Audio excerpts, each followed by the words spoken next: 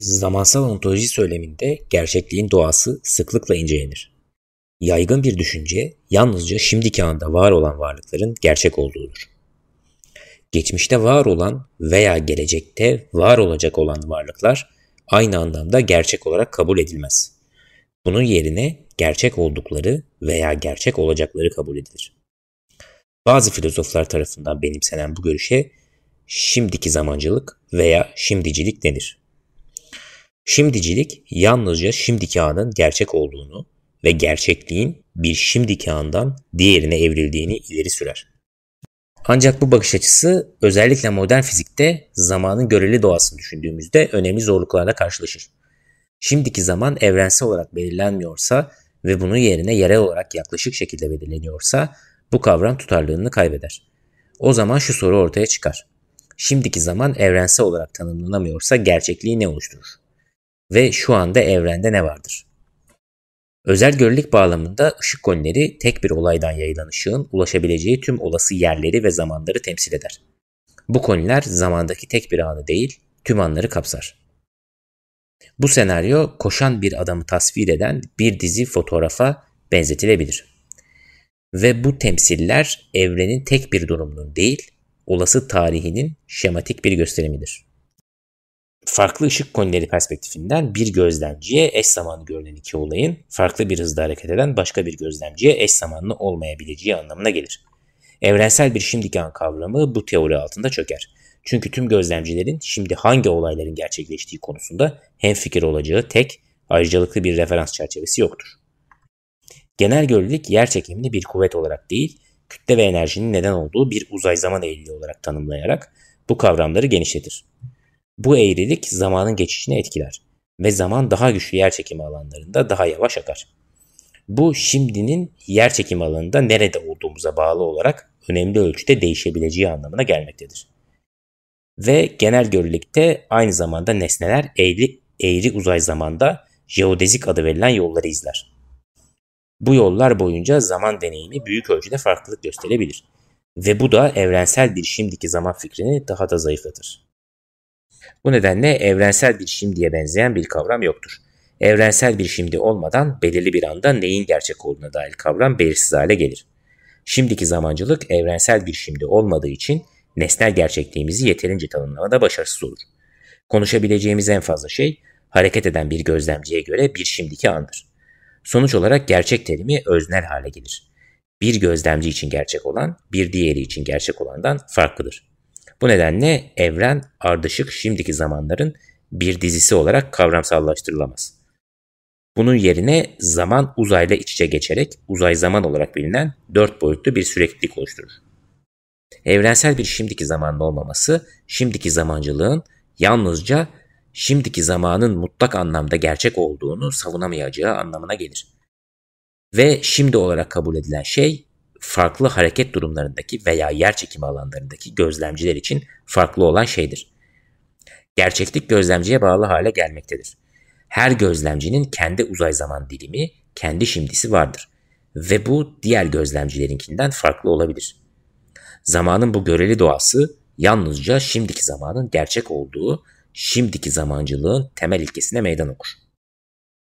Görelilik teorisi geçmiş, şimdiki zaman ve geleceğin eşit derecede gerçek olduğu bir blok evreni önerir. Bu blok evren veya sonsuzluk görelilikte şimdiki zamandan daha tutarlıdır.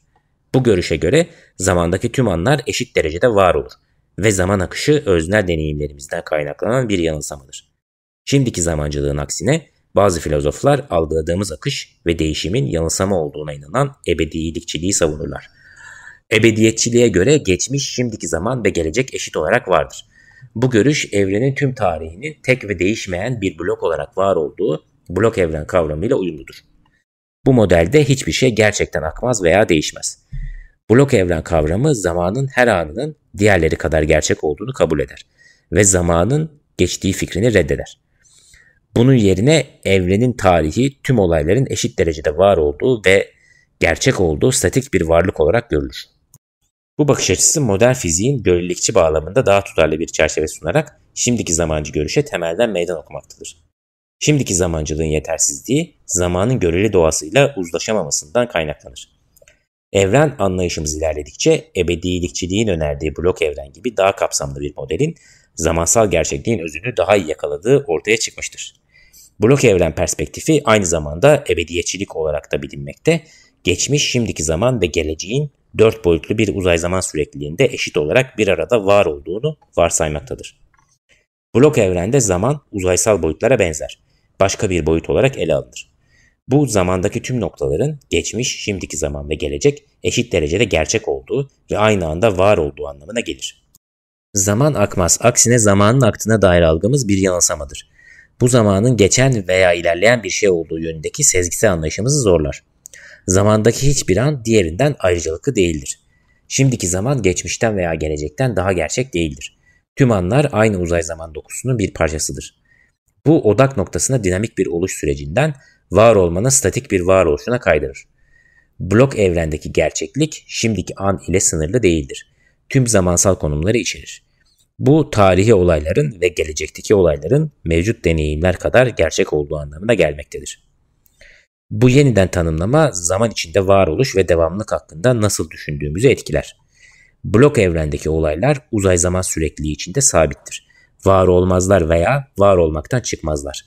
Sadece vardırlar. Bunun değişim ve kalıcılık kavramları için önemli sonuçları ortaya çıkmaktadır.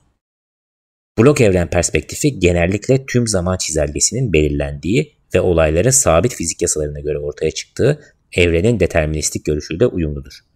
Bu determinizm geleceğin geçmiş kadar değişmez olduğunu, özgür irade ve rastlantısallık kavramlarına meydan okuduğunu göstermektedir.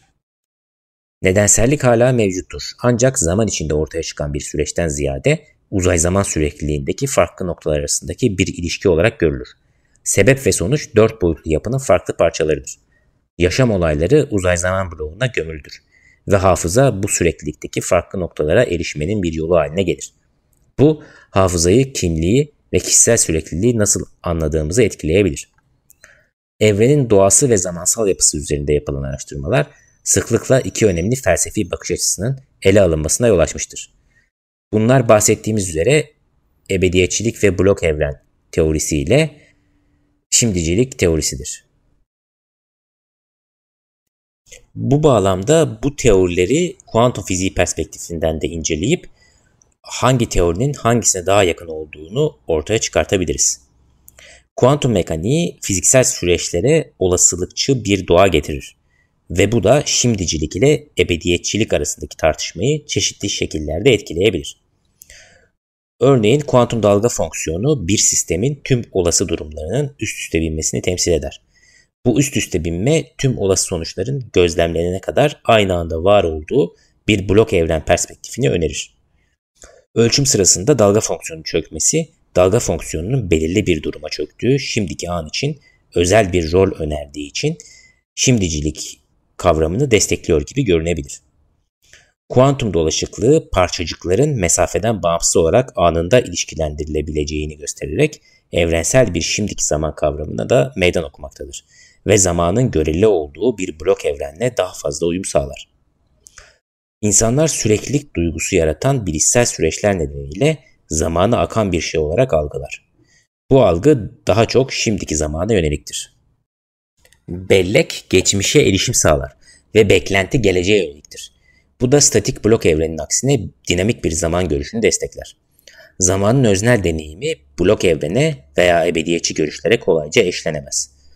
Bu modeller zamanı bir boyut olarak tanımlarken zaman algımız doğası gereği dinamik ve akıcıdır. Evrenin tek ve değişmeyen bir varlık olarak algılandığı ebediyetçi veya blok evren görüşüne gerçekten sıkı sıkıya bağlı kalmamız mı gerekiyor?